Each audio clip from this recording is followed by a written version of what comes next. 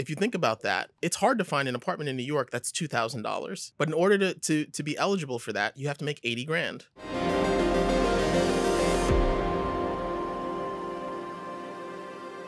So you live in Connecticut now? No, I live in Brooklyn. you live in I Brooklyn. live Okay. in Brooklyn. Um, I'm in Clinton Hill neighborhood, so I'm right right in the middle of uh, of all the action. During COVID, we considered moving to Jersey, where my in-laws live, um, but a few other people had the same idea. Yes. yes, they did. So it was impossible. it was impossible to find anything. I mean, we went, we basically went all the way down the spectrum, all the way to like, let's just buy a tear down, let's just buy land Mhm, and just do it. Um, but a lot of people had that idea too. mhm. Um, so it was just tough. So we decided to stay put. We're glad that we did. Um, things have normalized, and I think Brooklyn, in hindsight, um, and this should be no surprise, but Brooklyn did did really well, right? Mhm. Um, the, a lot of the Brooklyn neighborhoods, uh, they were thriving right through COVID, right? Mhm, Um, just mhm. because you have more outdoor space, more walkable neighborhoods, um, and so I think that's Brooklyn has benefited as a result of that because more people realize that, um, you know, through COVID, how how strongly it did. Which neighbor, not hood, but which uh, which borough you think fared the worst? Oh, fared the worst. Yeah, Manhattan. Yeah. Yeah, Manhattan feared the worst. Even more than Um, the Bronx, even yeah. Well, Because they're the- really the Bronx really well, never I went up or down, right? during during COVID, the people of the outer boroughs had it the worst because the pe- the working class people in the outer boroughs were the ones who still had to go to work, right? Like they couldn't, they didn't have jobs that could be done remotely. Mhm. Um, they didn't have financial resources to move, right? Mhm. To up and move. Um, and so I think the people in the outer boroughs in general had it the worst, which probably means the Bronx and, and Brooklyn, Mhm. um, where where you have most, uh, you know, a higher concentration of, of blue collar workers. Um, Manhattan business was hit the worst, right? So Mhm. um, during that time, it was quite surprising to see how many uh, retail and commercial businesses basically had to shut their doors because there was such an exodus, Mhm. right? Um, and how sustained that was. Uh, whereas in Brooklyn, a lot of the restaurants were able to maintain, right? They Mhm, were just mhm. ma- many fewer of those stories. So you saw things in Brooklyn like um, open streets, right? Um, which started out kind of improvised, Mhm. right? Where these business improvement districts um, and the neighborhood associations just basically said, we're going to shut the street down and we're going to create a way that restaurants can still serve customers outside Mhm. so that they don't all fold, right? Um, and the city got on board with that and, you know, Mhm. they were able to kind of formalize that. So to this day, in my part of Brooklyn uh, on Vanderbilt Avenue, um, it's now a huge attraction. So people come down from the city um, and even from the suburbs, they actually come down to that to Vanderbilt Avenue. 'cause It's basically like a block party almost. Yeah, yeah. Every every weekend, right during the summertime. Yeah. Um, so they shut it down Friday and they open it back up on Sunday, and basically you can kids can ride their bikes. You know, um, you can sit down and eat, you can drink, you can party, basically. Um, so some of that thriving, I think, is Mm-hmm. you know those are some of the um, the silver linings that came out of Yeah, out people crisis. interacting with each other again. people. Yep, absolutely. One of the things that I thought was uh, interesting that I never really put my hand on is, of course, you know, the cities are businesses of their own, right? And Mhm. they get a certain amount of revenue from those parking tickets, alternate side parking tickets, Yeah. right? Yeah. And because they had all those sidewalk cafes, Mhm. street-wide cafes, they were losing all that money, all that Yeah. tax revenue. Yep. And I don't know. I mean, last time I went up there, uh, what is the name of like the quality, right? Quality meats, quality Italian, quality Mhm. whatever. Yep. They still had the the sidewalk kind of cafe, and and I just every time I see that now, all I can think of is how much money the city's losing in in their ticket, their alternate side ticket revenue. Right. Know? Um, but hopefully, somewhat having that offset. Um, you know, keeping by, businesses by- open. by, by keeping. I mean, that's businesses the most important right? thing. The government is Um, supposed to do what it takes to keep the the, the, the population running Absolutely. Absolutely. because you don't want people to go out of business and then have more people upset, Absolutely. right? Um, and also, if you can, if you can bring people into New York, especially from the suburbs, um, and you have a more of a, a more pedestrian culture, Mhm. I'd have to believe that that actually is a net positive economically for the city, Mhm. because a person who leaves their car right at whatever entry point and decide and commits to coming to downtown or coming to Brooklyn or going to Dumbo or wherever they're going spends more time and spends more dollars, right? Mhm. Arguably, Mhm. um, kind of patronizing more of the more of the businesses and doing more, right? So Mhm. I, I hope that that um, that offsets things. But um, as a developer, I can tell you that there are definitely other areas that the city uh, did not let up at all on on generating revenue. so there are a lot of other kinds of tickets that the city can write. Um, you know, violations for for Right. um, property owners and for developers, and you know, the city has uh, they have a lot of different revenue streams. oh, I want to get to there. Are you ready? Uh, yeah, I've been rolling on all this. I Great. So, hey, welcome to uh, another episode of Money in the Bank with Franck. Today we have a special guest. We have Omar Slowe. He's the founder, president of Harpia Asset Management. He is a uh, real estate developer in uh, New York City. And we've been talking a little bit about he, uh, real estate and New York City as a whole. And uh, he's in town for a conference. There was the McGuire Woods, McGuire Emerging Woods. Manager Conference here in yeah, Dallas. which second person from uh, from New York came down last year. There was one. Now we've Mhm. got two. Sorry he couldn't make it, but hopefully next time you guys come down, we could do a bigger roundtable and and and talk a little bit more about. As I said before, you know, people just assume that when you work in finance, that you work in finance, that everyone knows what everyone else is doing, and Right. that is so far from the truth, right? Absolutely. So, uh, as a real estate developer in New York City, tell me about the permitting issues. Like, I know that California's having issues. They've got these Mhm. Class A buildings that maybe no one's ever going to go back to work in. The hardest part they say is converting those buildings from commercial to residential. Like it- to me, it seems like a layup. It's like, okay, you've got the skin on the building, you've got the building, you just have to demo some walls and build build uh, housing. But I guess it's not that easy, right? It's not that simple. So um, there, there. I think the two biggest limitations are uh, one is the um, is the policy limitation, right? The bureaucracy and um, you know working through all of that. But there are also physical limitations, right? Practical physical limitations of design. If you have a commercial building that's really large, right? Um, one of the main things that residential needs Mhm. is light and air, right? Um, to living spaces. And so if you have a really large floor plate Mm, it can become not very economically feasible, right?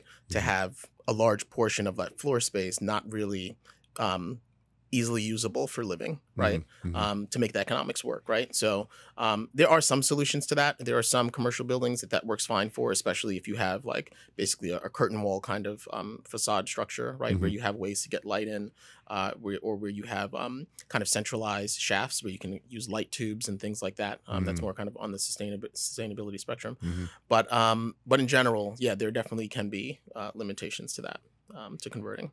And then there's just capital, right? It takes Yeah. quite quite a, it's a big undertaking. Um, and, and, and a risk in uh, executing a business model like that, not knowing whether it's going to work. And are there specific, we'll say either consumer or institutions that would fund that? Would that be something that you, know, you hear a lot about the residential, or the- sorry, you hear a lot about the re, the regional banks who tend to do more of that type of financing. Is that still the case? And if so, what are the mm, issues? So, yes, uh, I think that um, a lot of real estate development, and I, I can only speak from a New York perspective, um, is primarily funded by uh, local regional um, banks, Mhm. and um, and so for for a lot of those, right, they've they've had their liquidity challenges with capital flight. We're starting to see signs that a lot of them, uh, right, even today, headlines where a lot of them are starting to see return of that capital. So that's great. Mhm. Um, some of the banks that I deal with, and I'm not going to drop names, but um, have actually done well because precisely because their deposit base um, is in mom and pop businesses that do a lot of you know basic you know um, defensive community uh, you know business, Mhm. and so those deposits are sticky, right? Yeah. Um, and and uh, and because it's a true community bank, Mhm. where that community right rallied around the bank and didn't you know didn't uh, they didn't experience a lot of capital flight. Um, so those banks are still there. They're Mhm. still lending. They're probably navigating a more difficult environment. You know, now that the headline uh, noise is dying down, they're still probably um, dealing with um, you know the the rate environment. Right? Recycle. Let's talk about AI. Right? yeah, and there you go. Um, and uh, and you know, kind of net, uh, you know, their their their net margins um, being squeezed. Mhm. Um, but that's something that the, the overall market is going to have to work through. Um, there's there is there is a big need for um, for in, in in New York for City Hall to get behind um, kind of more more accelerated, um, kind of addressing on a more accelerated schedule, um, making it easier Mhm. for and and providing funding and Mhm. support, um, tax or, or whatever else um, for developers to do that, right? To convert some of these commercial spaces, to convert some of these hotels, Mhm. um, and uh, Yeah, one that seems like a layup. All those somewhat just- rundown hotels that are was in just nice so areas. much like, overdevelopment of you? hotels. Yeah. years ago, and I Right. think I think anyone paying attention knew that it had to end in tears. It didn't make any sense. Yeah. Um, you know, the the uh, it, there was just relentless development of hotels in all of these neighborhoods. Um, it's one of those things where, for whatever whatever weird reason, um, the the particular economics of doing that Mhm. made a lot of sense. And so, um, whenever you kind of create an incentive structure, right, that makes sense, people are just going to do that and wash, rinse, repeat, right, Mhm, as much as mhm. possible. Um, I think the good news is that hotels probably work better, right, Mhm. for um, especially kind of smaller form factor apartments, right, um, which is something that we need, right? You know, Mhm. studios, one beds, um, is something that we need. Um, so hopefully, uh, I, I think New York City finds a way to come up with programs that kind of get developers back on the horse, so to speak, um, doing more of that work. Uh, and and I'll I'll just make a small plug for smaller developers Yeah. because I think a lot of the I think a lot of the policy consideration is focused around very large development. Mhm. Um, and one of the things I always say uh, whenever I have a chance to say it, like now, is that New York City, um, as big of a city as it is, it's a city of small buildings, Mhm. right? We look at the skyline. We let you know we were all looking up and focusing on these on these glass towers and these steel towers, um, but New York City is a city of small buildings, especially residentially Yeah. right? Um, and so uh, not only the residents, but also the entrepreneurs, the families that Sure. own these small buildings, right?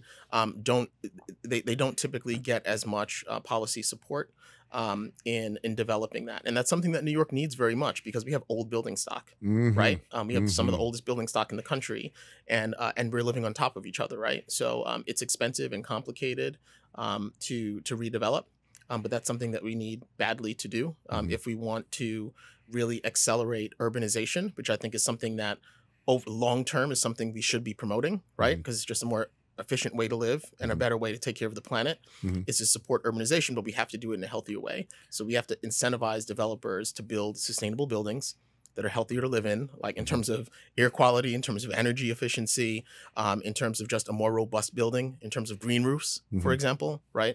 So I think we need to see more more um, policy from the city that supports that financially and makes it easier for developers to do. Yeah, I think that would be a step in the right direction. One of my clients who um, recently retired from a large company that everyone would have heard of, and he was a risk manager uh, for that institution. And his swan song, if you will, from that position was writing a paper that was in a pretty big deal economic uh, book. And it he talked about uh, it's the responsibility of a lot of the, the banks and the insurance companies and the capital allocators to not just invest in something that's going to make money, but to invest in something that's going to be um, sustainable, like you said, Mhm. right? Mhm. Um, and I'm very interested in the way that you've done it. You, I remember when we met years and Mhm. years and years ago, you were just kind of getting your feet wet out of banking and into Yep.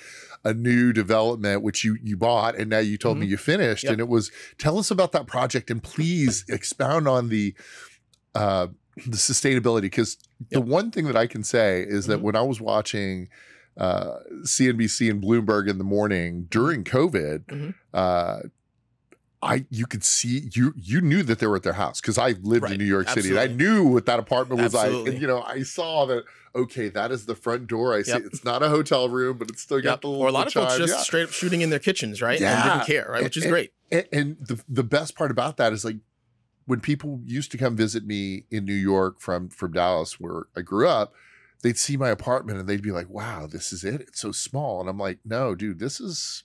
This is a nice apartment. I've got a washer dryer. I've got a Right. dishwasher. Right. I've got two bedrooms. I'm Yep. the only person living here. That's a big deal. Yep. You know? Yep. And they never they didn't get it. Yep. And I living here now, I get why they didn't Right. get it, but it's pay to play up there. It's like you don't spend a lot of time in your apartment unless there's Right. someone locking you in. Right. Right. But you've done something different. So I, I want to start by saying that I don't view um, investing for profit and investing for sustainability's sake as mutually exclusive because they're not. Um, they they go hand in hand, and real estate development in general is um, is not is not should never be a short term investment strategy, right? Um, it's a building, right? It has a 50, 100 plus year life. So even though even if your expected hold period, right, or your investment plan um, isn't for that whole time, which it usually isn't, the building should be built for that. Yeah, hold Right. return. Sure. Um, buildings are not disposable, right? Right. So so you should you should invest in and build the building as though you expect it to last as long as possible. Mhm. Um, when it comes to sustainability, I think that's that's even like you said, even more important in a place like New York, where all you have is your six or eight or twelve hundred square feet, and so if you're spending a lot of time in it. It needs to be healthy, right? Like the air needs to be fresh and needs to be healthy, and you need to know what's in the walls, right? And uh, and, and so on and so forth. So um, I think healthier buildings are something that um, the financial return from that is very difficult to glean, right? But but we do know that there are long term negative health care, uh, negative health effects of um, spending more time indoors, especially if you're living and working in the same place. And having poor indoor air quality, for example, right? We, we know mhm. what those effects are. Mhm. It's just that um, it's difficult to draw as as direct a line to it, and so we Mhm. don't really invest in it. What I started doing was, um, and so to talk about my my transition, you know, my background was in finance. You know, I was a high yield and distressed bond analyst. Um, and I got into the business almost accidentally, just trying to help uh, the mother of a friend not lose her brownstone. And uh, I had been passionate about sustainable design um, through some entrepreneurial experiences that I had on the side in between jobs years years earlier. And so um, I I initially approached the business um, by saying, "Hey, you know, I can put together pretty complicated deal structures. I'm a distressed investor. This is somebody that I care about, and maybe I can I can use that skill set uh, and that expertise to put together a, what what needs to be a more considered uh, deal structure to help this woman. so you were um, using a sledgehammer where they could have used a tack. Absolutely, tack hammer. absolutely. because because because and the thing is, um, no one else is going to do that. No Mhm. one with my background Right. and my my education and my training is going to spend their time doing that on a brownstone, right? Mhm. Um, or they may do that on a first deal, but the next deal, the, you know, the next Right. stop needs to be a hundred unit building, right? We hear that story all the time, and it's Yeah, great. It's you know, the same, and I say this all the time. It's this, it's this on the retail side. If I'm working with somebody that has ten thousand dollars or somebody that's two million dollars, it's still the same work. It's just less right? Absolutely. zeros, right? So So th- there's wisdom in that, right? Yeah, there's sure, wis- there's yeah. wisdom in that in making sure that your business can be, um, you know, financially sustainable, right? You should you should be focused on bigger deals. But the opportunity, this is the opportunity that that I spotted, and, and kind of where my business is focused, Mhm. was that um, I was able to uh, completely gut renovate that building. Um, turn it into um, something that's not opulent, right? There are no, there's no like imported marble or you know with you know hard to pronounce European names on any any of the products um, but it is high quality. It's a high quality product. Um, it's a uh, it's a smartly designed building, not just smart design, not just kind of like smart home features, but also smartly designed. Um, and it's the kind of home that someone can live in forever, mhm, right? If they want to rent, like we- we're, we have a rent renting culture in New York, and I mhm. think that's fine, right? Mhm. It's something that should be celebrated and should be allowed. Um, and uh, and so a renter can live in an apartment that I build forever, Mhm. right? Um, they they I mean they may, may run out of space, but um, you know we generally are designing larger units Mhm. that are fully appointed, right, with a full size washer and dryer, um, and every amenity that you need um, in the home full size. right full size right That- which is huge right? Like how do you how do you wash and dry your comforters right and your pillows right? Um, you shouldn't have to you know walk two blocks down Here's to the, the, to the laundromat right? Um, we're all not adults right? Like we're adults here right? So um so all, all the things that and one of the things i say is that all the thing we, we have such a love-hate relationship with Mhm. living in new york don't we? Yes, right? and so part of my mission is is to disrupt that right like Yeah. take the hate out of that equation that's right. because you should be able to actually, especially what we're paying to live in New York, Mhm. you should you should be able to love every aspect of living in New York, right? And going to the Yeah. suburbs should be should be a choice or a preference. It shouldn't be a necessity, right? Yeah. As as as you get older and grow. So um, I want to answer the, the the rest of that question, which is um.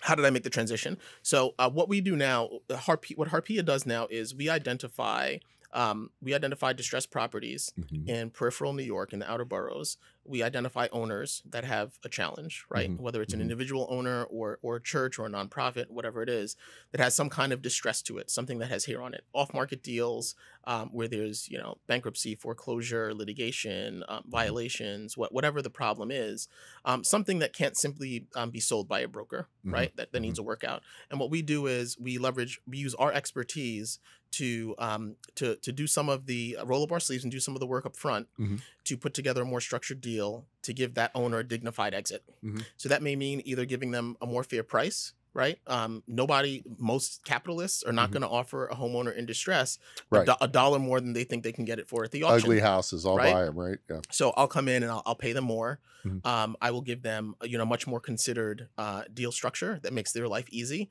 and allows them to transition out. I'll take care of um, any occupants, you know, whether it be family members or tenants or what have you.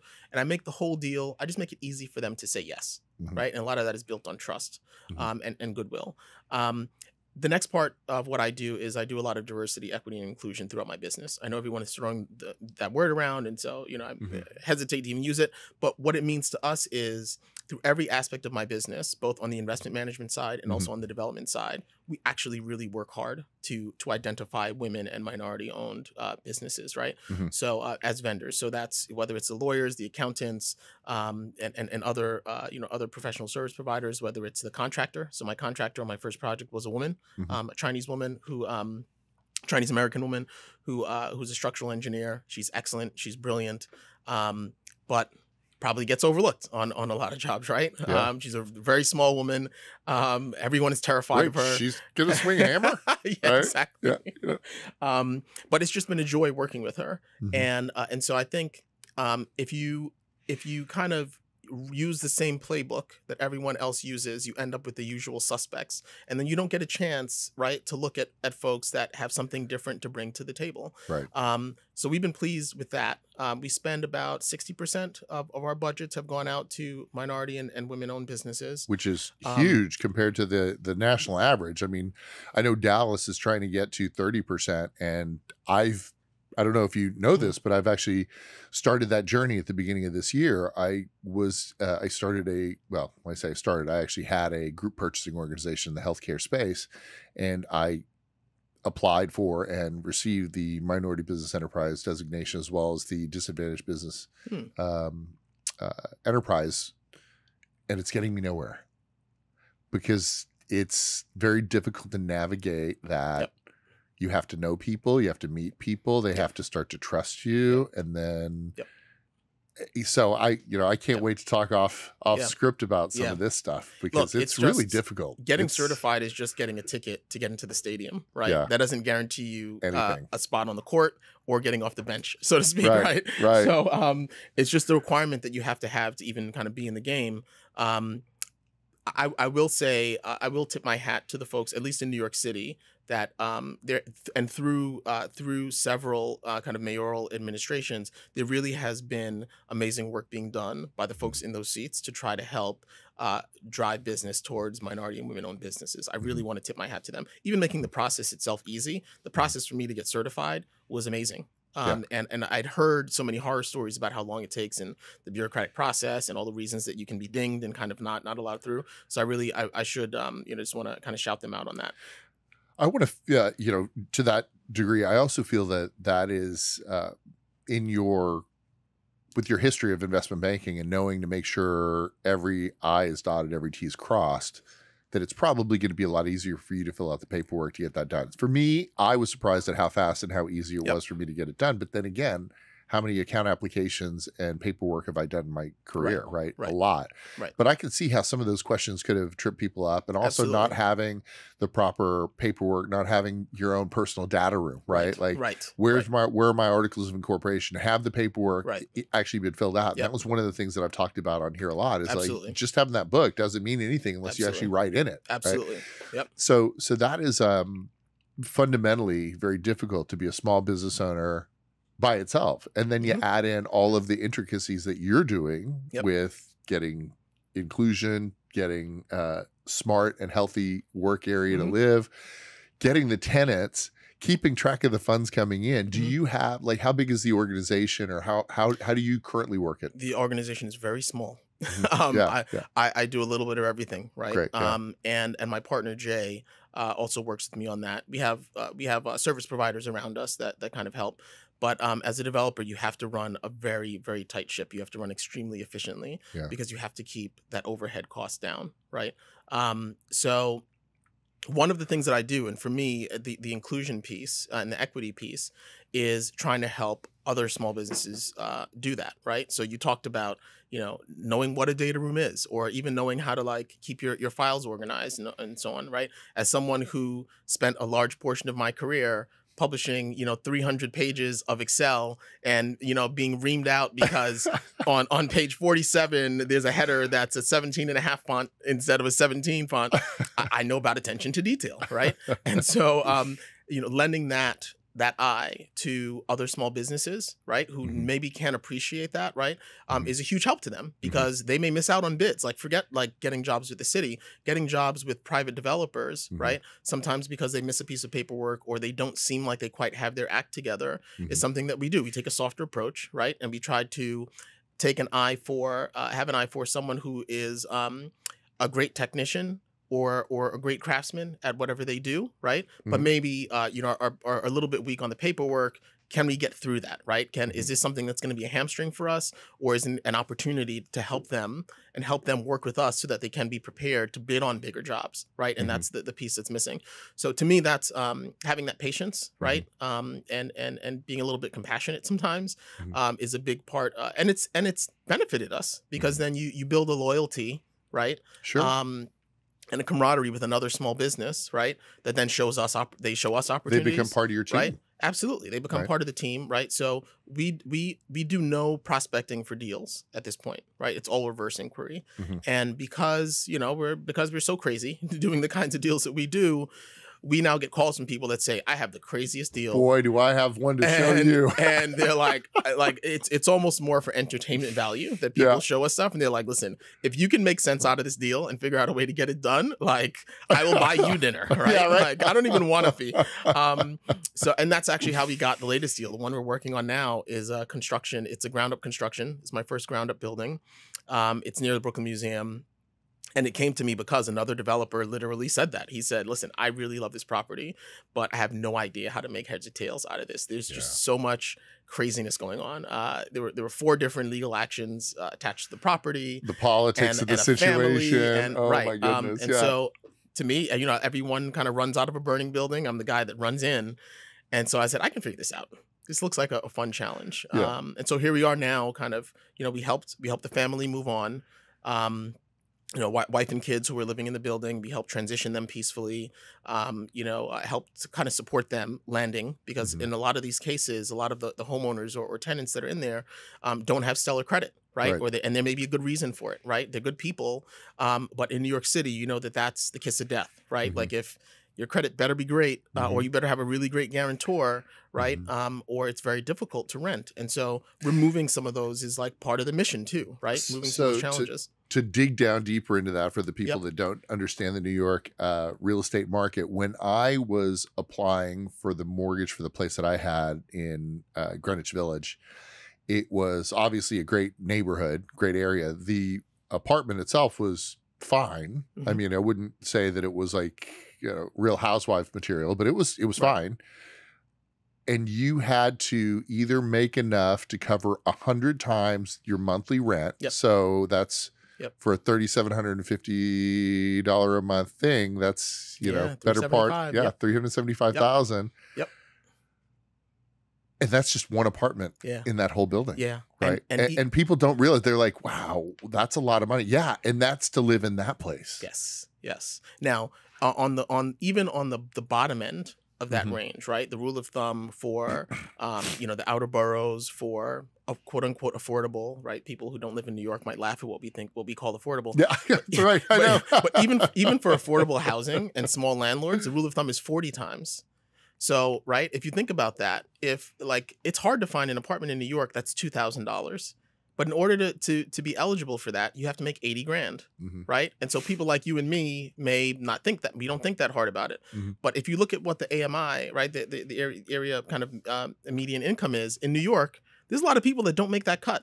So Yeah. how how are they living, right? I mean, we Mhm. have public housing, which you know, isn't great, has its own issues, um, but that's a real challenge. So Mm-hmm. part of what I'm doing, and I, I don't profess to have the answer to it, um, is uh, is trying to figure out as I'm moving forward with my business. I'm focused on small buildings.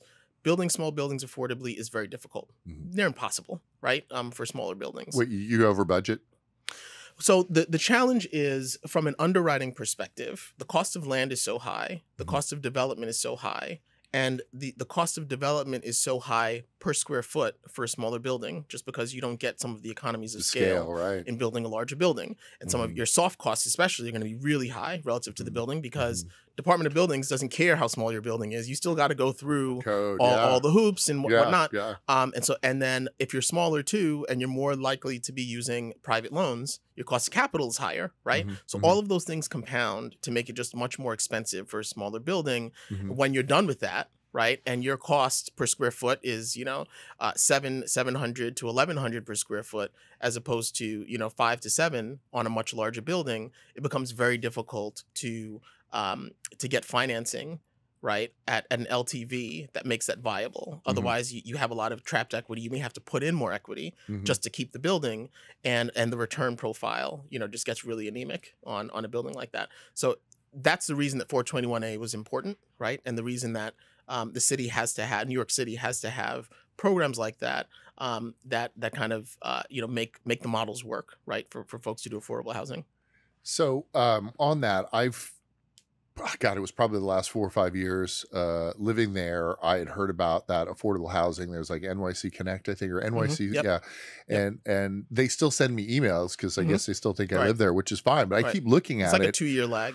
and I think it's just so fascinating, like how nice some of those affordable Yeah. housing buildings are. Yeah. But like even me, what in the past five years when I was there Mhm. applying for them, Yep.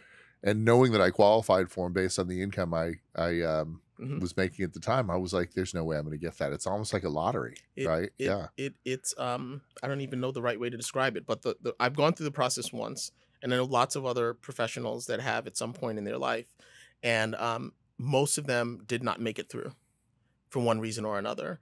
Um, and so it's it's it's a gauntlet. It's very difficult to make it into those. And so one of the things that I always say, um, you know, not to knock the idea of affordable housing. I think it's great that we're doing it. Um, we need more of it. Um, but I do think that there needs to be a, a look at how you widen that net, how you really um, fix the the parameters that you're using to filter people Mhm. to actually make it applicable to actual New Yorkers. So Mhm. people who are actually from New York, Mhm. who have raised their families in New York, who are multi generational families in New York, that are in that borough, in that neighborhood, Aren't have getting been pushed out. life. Yeah, aren't getting pushed out right, now. Now they do do a good job of prioritizing with the way they prioritize the lotteries um, of getting people who live near near that building um, selected in the lottery. They do do a great job of that, but then getting through the the actual selection process is very difficult. And in a lot of ways, one of my biggest beefs with with with the way the policy is set in New York is that we punish success. Um, and so New York is a place where immigrants and working class folks came to to try to make it. Mhm. And so if they do what what we ask them to do, which is work hard, pay your taxes, be a productive member of society, educate your kids, which is what immigrants and poor people do Mhm. in New York. Mhm. And then your kids uh, kind of benefit from that because if they have gotten a great education and they've worked hard and now they're middle class, Mhm. everything that we're saying and doing to them says, now leave. Now go to the suburbs, Yeah. right? There's- Right. There's, no place here for you to live unless you're now a millionaire, right? Mhm. Or, or unless you kind of make, you know, you're, you're you're the camel that gets through the eye of the needle to find your way through one of these lotteries to stay in one of these apartments. Um, and I, I'm born and raised in in Brooklyn, right? I can count probably on one hand the number of friends that I know who have made it through that lottery.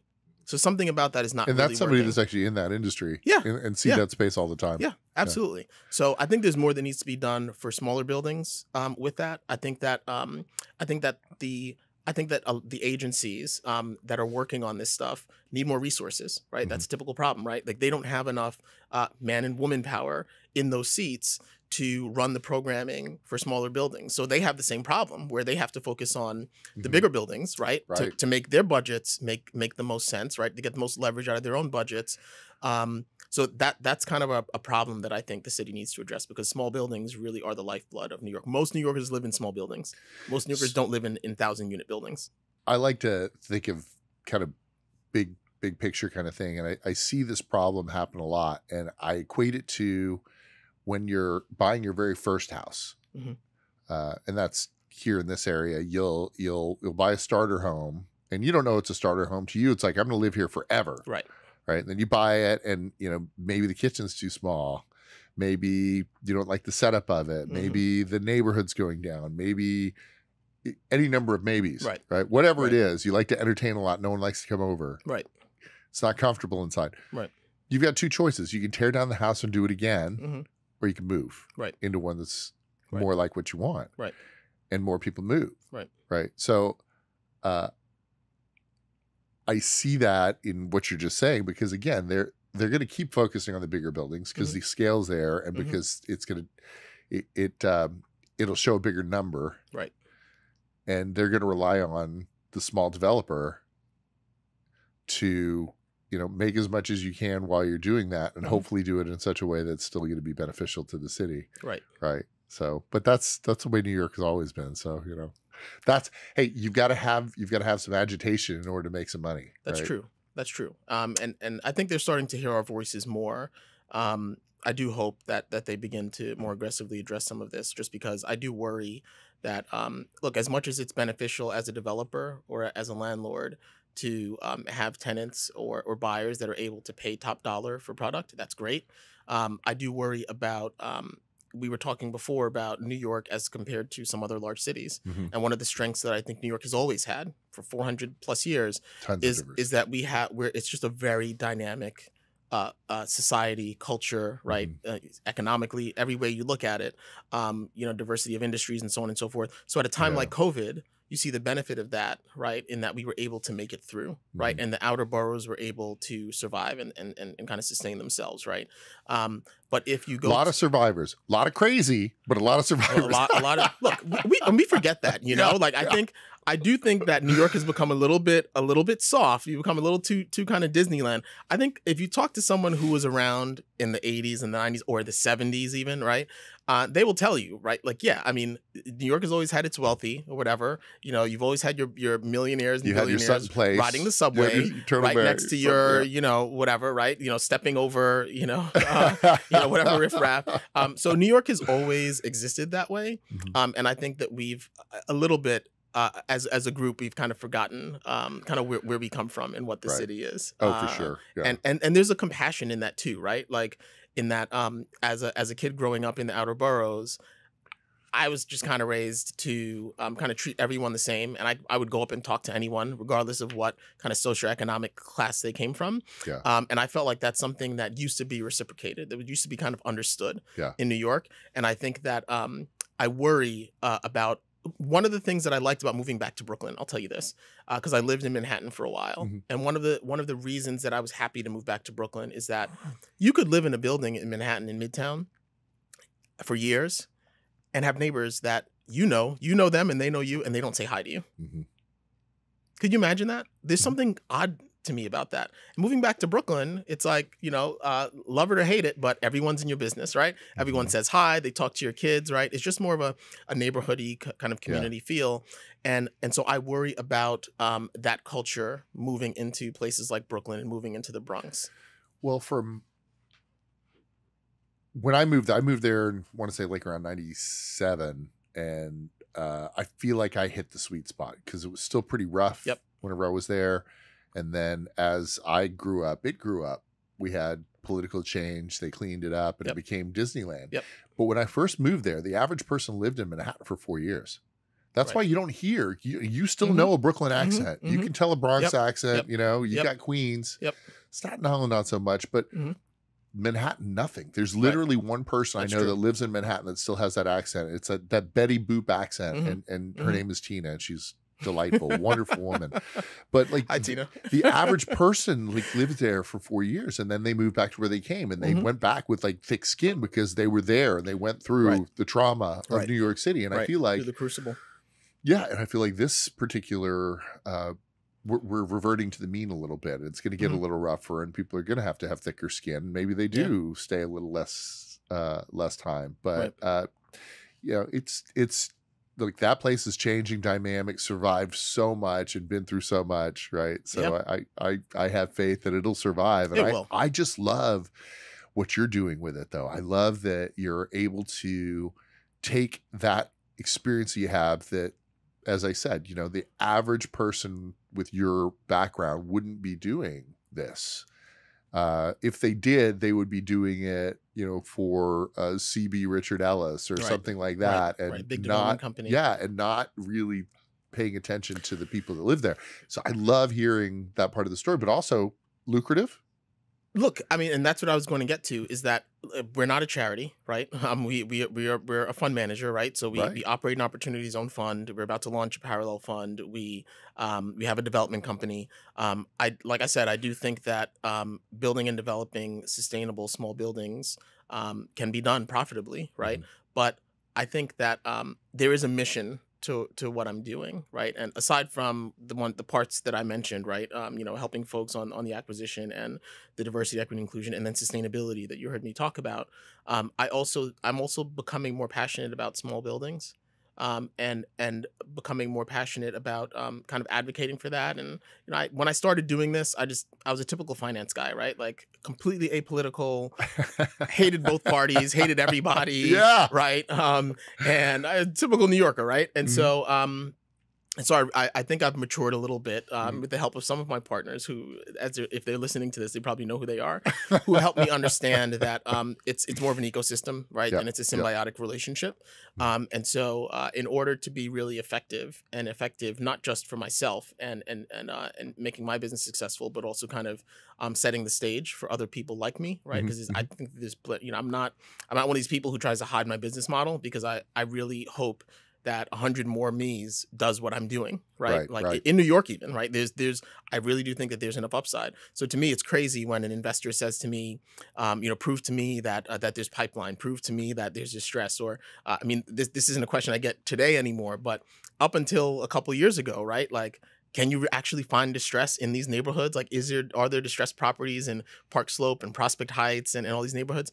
And I say, if you walk down any of these blocks in New York, and Talk to any of these people and hear they're crazy. You'll know that there's distress out there. there's distress out there, right? Like, and look, I- and I'm not saying that that's a good thing, right? But it's the reality, right? If there's 200 uh, brownstones on a block, right, regardless of what the average household income is, or regardless of what the average home value is, there's always a building there that's in trouble. Mhm. And uh, and so part of what we do is, uh, and we're not charity, right? Like we don't have time to to. I mean, there there are programs out there that we point people to if they are an owner occupier that wants to stay in their home and need that help, right? That's not what we do. But if uh, if the wheels are kind of falling off the wagon, right, and it's a bad deal, there usually is not. Um, there, there right now are not a lot of actors that I'm I'm going to be very polite that are at best uh, opportunistic, Mhm. right? Um, and not in, I don't say that in a great way. Mhm. Um, and so we we're that bid, right? Like we're that person that's going to come in. We're going to be compassionate. We're going to be patient. We're going to be understanding. Uh, we're going to put together kind of a structured deal. It helps us make money. They make money, Mhm. um, and and everybody's happy. But um, I I'm long term greedy, right? As as the folks, the good folks at Goldman say, in that I do think that if I'm able to to prove that this model can be um, can be lucrative, um, I hope that there is more more focus and support on it, and I hope that it it's, it becomes um, an on ramp for a lot of other budding entrepreneurs Mhm. to be able to do this because I think our city needs it. That's great. Have y'all so have you heard about so over COVID, I heard like multiple stories from uh, people I knew about uh like commercial establishments getting bought out by uh foreign uh actors who came in. Uh do you know what I'm talking about? Like When you say commercial- restaurants- Like restaurant- restaurants and stuff like that. Um and basically sat on and basically forced to close so they could take over Oh, that kind of stuff happens all the time. Not just restaurants, right? Like so, like um, it depends on what your strategy is, right? If there is an a, a, uh if you want a if you want a piece of real estate, um, and there is a business operating in there, or you know, or even tenants in there, part of your strategy, uh, your development strategy may be to to basically vacate the property, right? And so I don't I don't mean to put that kind of crudely, but um, for an investor, if that's their business plan, uh, from the perspective of the investor, it's something that you want to do, right? If someone may uh, have a lease, and it's just pure economics, right? Someone may have what to them is a very attractive lease, right? Where where they're paying way below market on something, um, and uh, the building may have a lot of development rights, right? That that a buyer may want to make good on, uh, and so um, you have those kind of opposing economic forces sometimes at play. Um, part of what we do um, in in kind of our mission driven focus is um, do no harm, right? So so don't you know don't don't try to use nefarious means to get that person out of that lease in that case right work with them buy them out right? Um, which is kind of where you'll end up. If the person is relatively savvy and and and uh, and, and well resourced they'll get an attorney you get an attorney you negotiate right? And then you end up with a buyout. Part of my philosophy is rather than hope that the person's stupid or trick them right? Or uh, use any other kind of various means to stress them out or, or force them out um, start with the buyout, right? And say, hey, this I want to own this building. This doesn't work. Like your lease doesn't work for me. Can we renegotiate it? No. All right. Well, what's it worth to you? Right?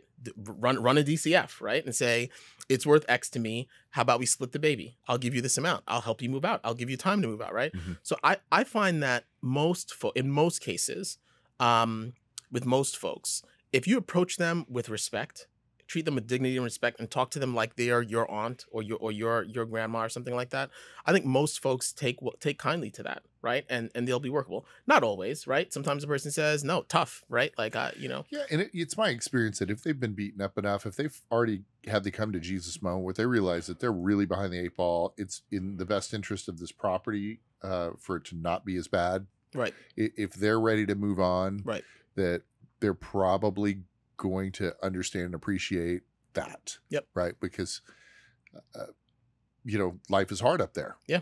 And if they aren't ready to move on, then they're not they're not your people anyway. Right. They're not the ones you're going to be able to help. And by the way, that includes tenants. So what I sure. found, yeah, right? And look. I hope these aren't famous last words, but in, in my experience with tenants, if so by the way one of the things from a policy perspective that really needs to be fixed is the is the current policies that are in place are really hurting small landlords mm-hmm. especially small landlords that have uh, any kind of rent stabilized tenants yeah because it could be years. they're getting before. they're getting crushed mm-hmm. because the costs the cost basis has gone up in owning and managing these buildings the property taxes keep going up um, they no longer have the ability to deploy capital to improve the building to keep it livable, mm-hmm. right? Because all buildings, right, need you, you need that, right? Right. the property values go up, but the tenants who are paying a rent either controlled, which means that it doesn't go up at all, right. or rent stabilized, which, which it only goes up a certain percentage. Historically, hasn't gone up much, right? I mean, they've, they've made two jumps in, the, in these past couple of years. The rent, uh, the rent guidelines board, but but, but the rent, but the rent itself that you're coming, in, you're taking in as a landlord isn't going up. That's and, not changing. And your taxes will will a lot right as, so, as of 2019 mm-hmm. you, you, right they basically have taken away pretty much every way for a landlord to make an improvement to a building and then to bake that into a rent increase right to get mm-hmm. paid so um and it's it was just too crude of a fix, right? Like there's a middle ground. There should be a way to allow a landlord, especially a small one, to make those necessary improvements. So you have these buildings that are falling apart, mm-hmm. right? It's a nightmare for tenants to live in. They mm-hmm. hate the landlord, the landlord hates them, and it, and it's just it's like mutually assured destruction because the housing stock's only going to get worse, and you're going to have whatever knock-on effects of that.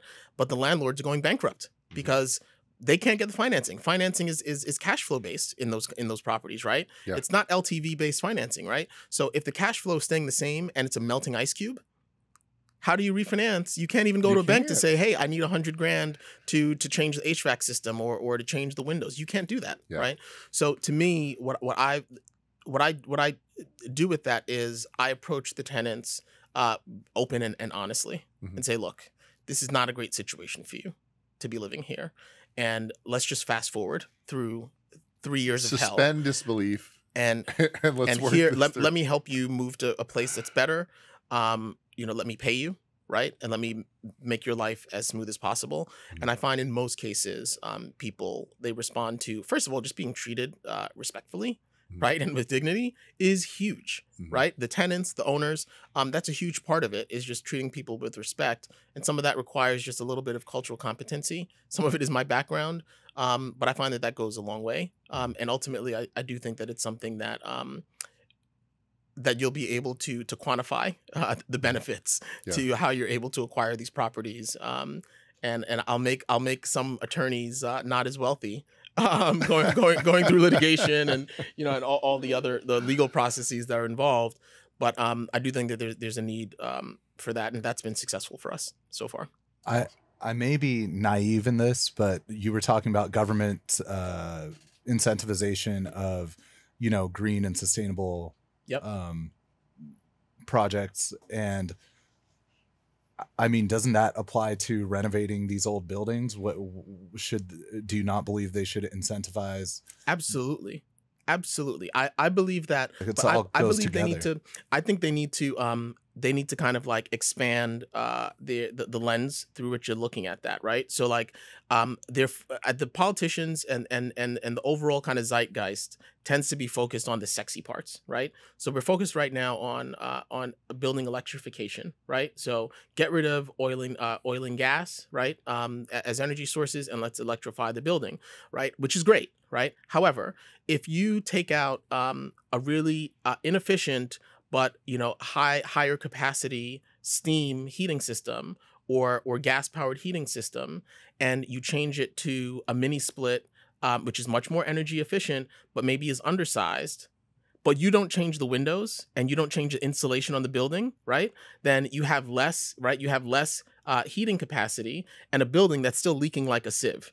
And so in in New York City, right, then what you end up having is unhappy tenants who are saying, it's great that you guys basically got rid of the carbon monoxide risk, but I'm freezing now in the wintertime, or my water doesn't get quite as hot, right? Um, so the, the it needs to be a more holistic approach that I think uh, state, local, and and the federal government should support in saying we need to do the whole thing over. You need high performance windows. You need um, better insulation. You need uh, you need uh, water and, and vapor barriers on on either side of the building. You need to basically make the building envelope high performance. You need higher performance roof. We should be funding green roofs everywhere. New York City put a law in that requires now anytime you're doing a major renovation, 100% of the walkable surface has to be either uh, green roof or or solar right? But but where's the money? Like you have to put the money there right? The money isn't just in you can't just like put solar panels on a roof on a brownstone that's 100 years old and that has a questionable structure. You have to get a structural engineer and you have to go in and fortify right the walls of that building so that it can support an extra however many pounds on the roof right? And then mm-hmm. it's going to be a usable roof instead of a tar roof where people are going to want but should want to go right and, and use mm-hmm. that roof right? So in order to do that But think, then you have to have the additional insurance just in case somebody, you know, right a header. Right. Well, you know, well, you know, you have uh, you have a, have to have a minimum. Uh, I think it's thirty six or thirty eight inch um, parapet all around, right? So you have to have walls all around. Um, and and if there are children, there there are different systems that you can use to basically make um, you know make the roof kind of child safe. Yeah. Um, but there should be money for that, right? Like if you fly over New York City and you look at the amount of black tar roofs, right?